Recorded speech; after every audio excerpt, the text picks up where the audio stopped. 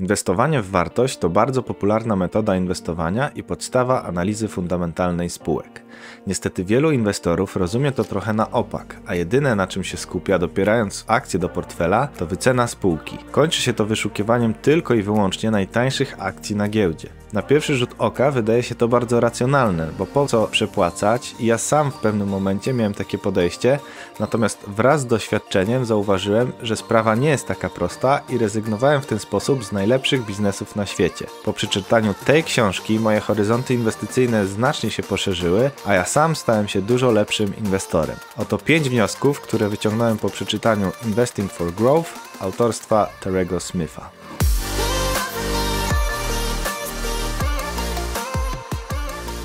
Terry Smith prowadzi fundusz FundSmith, który od 2010 roku rośnie średnio 15,8% rocznie, już po uwzględnieniu wszystkich opłat związanych z tym funduszem. Po 10 latach prowadzenia tego funduszu, pan Smith postanowił zebrać wszystkie napisane przez siebie do swoich inwestorów listy i przekazać esencję jego inwestowania, publikując książkę Investing for Growth. Najważniejszą zasadą inwestowania w funduszu FundSmith są odpowiednie priorytety kolejnych trzech kroków. Po pierwsze i najważniejsze, kupuj tylko dobre biznesy. Dzięki takim biznesom, jako akcjonariusze, będziemy mogli uczestniczyć w ich wzroście przez kolejne długie lata, a nawet dekady. Przy okazji możemy spać spokojnie, mimo widma większych stóp procentowych, recesji czy napięć geopolitycznych. Warren Buffett powiedział kiedyś, że dopiero podczas odpływu okazuje się, kto pływał nago. I podobnie jest ze słabymi biznesami, które na przykład za bardzo polegają na aktualnej koniunkturze, czy zbyt ochoczo posiłkują się kapitałem zewnętrznym, żeby maskować problemy ze wzrostem organicznym. Kolejnym bardzo ważnym krokiem jest fakt, żeby nie przepłacać. Co z tego, że biznes jest bardzo dobry, skoro jego cena zakłada perfekcyjny wzrost biznesu przez kolejne 10 lat? Mimo, że jest to bardzo ważny krok, to zwróćcie uwagę, że jest na drugim miejscu.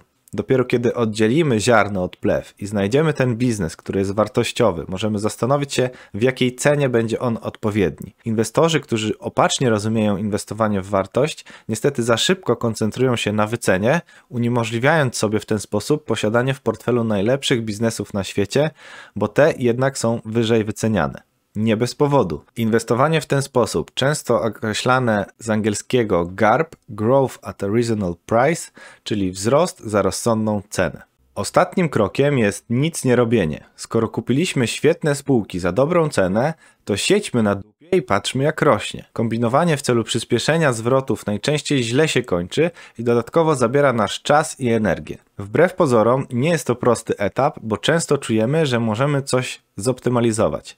Tu sprzedać część akcji, bo kurs wzrósł, a tu wyjść z całego rynku, bo przecież na pewno zaraz spadnie. I tu przechodzimy do drugiego wniosku: market timing nie działa. Market timing to czynność polegająca na wchodzeniu na rynek lub wychodzeniu z rynku w oparciu o prognozowanie przyszłości. Rynek będzie rósł, no to wchodzimy rynek będzie spadał, no to wychodzimy do gotówki lub innego aktywa i czekamy na spadki. Problem jest niestety taki, że nikt nie wie, co nastąpi w przyszłości, nawet wróżbita Maciej. Terry Smith przez te 10 lat czytał już wiele prognoz ekspertów, jak na przykład te, że do Brexitu miało nie dojść, Trump nie miał szans na wygraną, Bitcoin miał być traktowany jako złoto, a nieruchomości w Polsce były drogie i miały spaść. A, nie, sorry, to już mój punkt. Czujesz już, że przewidywanie nie jest takie proste? Okej, okay, ale to nie wszystko. Żeby market timing działał, musimy jeszcze wiedzieć, jak na to zareaguje rynek. Weźmy taki przykład. W listopadzie 2019 roku znajdujesz gazetę z listopada następnego roku i czytasz, co się dzieje na świecie.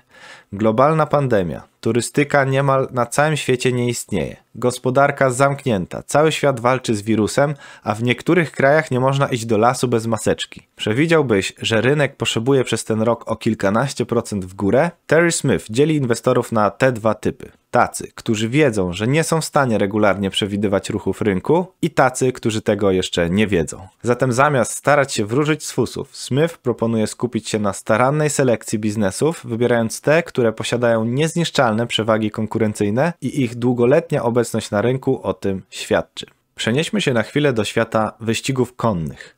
Alex Bird był profesjonalnym hazardzistą. Zarobił fortunę w wyścigach, kiedy rywalizacja była tak zacięta, że o wyniku decydowało zdjęcie z fotofiniszu. Dziś takie wyniki są rozstrzygane bardzo szybko, ale w czasach Alexa Byrda proces ten trwał znacznie dłużej. Przetworzenie prawdziwych zdjęć zajmowało kilka minut. W tym czasie zakłady wciąż były otwarte i dalej można było obstawiać zwycięzcę. W końcu każdy gracz miał pozorną 50% szansę na wyłonienie zwycięzcy. Oczywiście Alex Bird miał znacznie większe szanse niż 50%. Dla niego ostateczny wynik był prawie pewny. Alex zauważył, że w typowym wykończeniu zdjęcia złudzenie optyczne sprawiało, że wyglądało ono tak, jakby to koń najdalszy od strony widza był zwycięzcą. Zauważywszy to, Alex ustawiał się jak najbliżej zwycięskiego stanowiska na podwyższonej pozycji.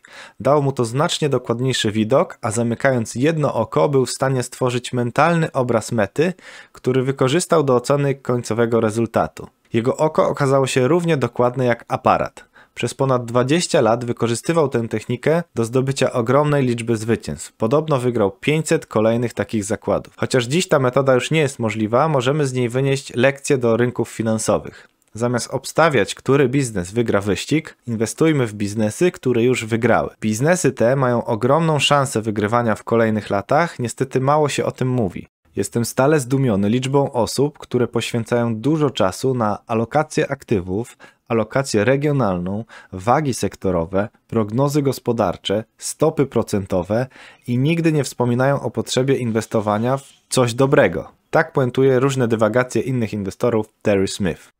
Przy okazji szybkie ogłoszenie z mojej strony. Grafikę, którą widzicie, umieściłem na Instagramie, którego zacząłem prowadzić. Wpadnijcie tam po więcej ciekawych smaczków ze świata inwestowania, wolności finansowej i budowania kapitału. Pamiętajmy jednak, że za dobre spółki najczęściej trzeba więcej zapłacić. I uwaga, najczęściej warto. Dlaczego? Bo są to biznesy, które przez długi czas potrafiły i najprawdopodobniej dalej będą potrafiły używać magii procentu składanego, zyskując regularne, bardzo dobre zwroty z inwestycji. Terry Smith przywołuje w tym temacie wykres pokazujący przy jakich wycenach w styczniu 1973 roku mogliśmy kupić akcje uzyskując lepsze zwroty od światowego indeksu. W przypadku L'Oreal mogliśmy kupić w cenie 281 ceny do zysku, a takie PepsiCo w cenie 100 ceny do zysku. Abstrahując już od konkretnych przykładów, lekcja z tego płynie taka. Dobre biznesy często są wyżej wyceniane przez rynek, co nie zmienia faktu, że dalej mogą przynieść nam wyższe od niego zwroty. Dodatkowo próbując pobić ten rynek, musimy mieć na uwadze scenariusze, kiedy coś jednak w tym biznesie pójdzie nie tak. Dla spółek, które są wysokojakościowe, ten upadek będziemy widzieć dużo wcześniej i lądowanie nie będzie tak twarde jak dla biznesów niby wycenianych nisko, ale mających wiele problemów i będących na przykład wysoko zadłużonych. To, że akcje są nisko wyceniane nie oznacza od razu, że są niedowartościowane. Może właśnie są prawidłowo wyceniane tak nisko, bo są po prostu słabe. Dobierając do portfela jak najtańsze akcje, pomyślmy, czy podobnie robimy w życiu. Czy jeśli kupujesz auto, to jedziesz na szrot i kupujesz auto o najniższej cenie, czy komfort podróży i pewność dojechania do celu będzie taki sam jak dla auta droższego i zadbanego? Za jakość trzeba płacić więcej i nie ma w tym nic złego. Więcej o tym mówiłem w odcinku Dlaczego akcje rosną, także zapraszam tutaj do odnośnika. W momencie nagrywania tego filmu trwa 109. edycja najważniejszego kolarskiego wyścigu Tour de France. Ale co to ma wspólnego z inwestowaniem? Jest tu kilka podobieństw, które mocno do mnie trafiają. Mimo, że jest to już 109 edycja, jeszcze nigdy zwycięzcą Tour de France nie został kolarz, który wygrał wszystkie etapy.